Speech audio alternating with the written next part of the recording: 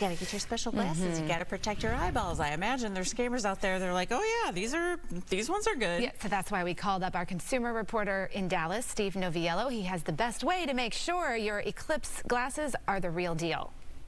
Uh, this is going to be the eyeball, right? April's total eclipse of the sun will last just less than 4 minutes and 30 seconds, but eye damage from improper viewing could last a lifetime. You certainly uh, don't want to be in a situation where you're looking at the eclipse with no uh, eye protection.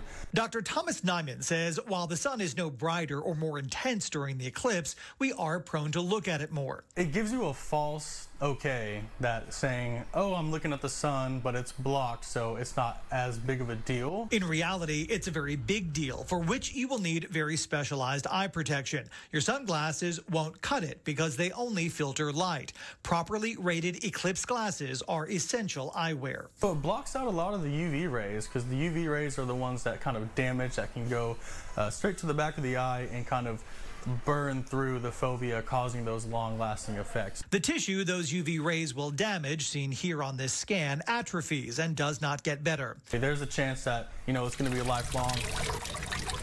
It's why Eclipse enthusiasts have been pouring into stores like... Like hotcakes yeah, we're, we're selling about 20 a day. Jackson's Home and Garden in Dallas, where the prep work to procure eye protection started after a sellout during last year's annular eclipse. I placed an order for another thousand in December, and it took until late February for them to come in. Um, I might be able to get in one more order, not sure. From apparent cardboard for a couple of bucks to a pricier and more permanent plastic pair. Can't see a thing. Each set has one essential element. Yeah, the certification is right, right on there. So th to ensure your glasses are properly rated, ISO 12312-2 is the number you're looking for. Without it, this is your retina. Dr. Nyman may be looking for you.